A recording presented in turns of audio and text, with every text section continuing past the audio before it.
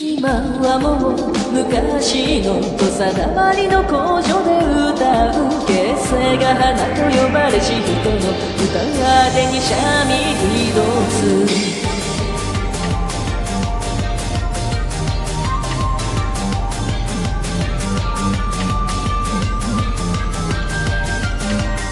あれやれとたいう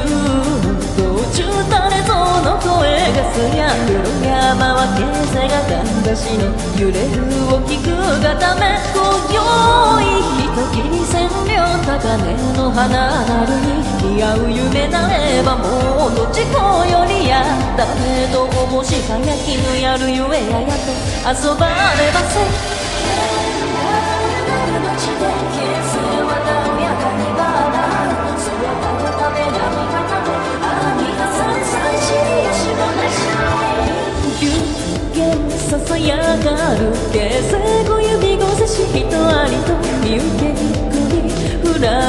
そが幻を追うためと。い